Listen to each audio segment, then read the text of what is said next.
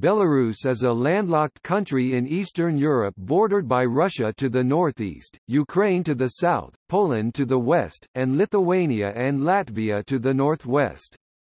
Its capital and most populous city is Minsk.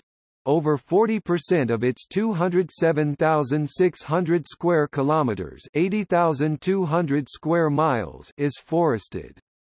Its strongest economic sectors are service industries and manufacturing. For further information on the types of business entities in this country and their abbreviations, see Business entities in Belarus.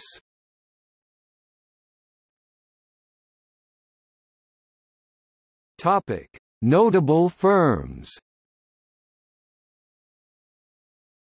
This list includes notable companies with primary headquarters located in the country.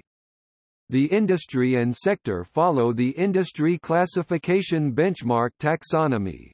Organizations which have ceased operations are included and noted as defunct.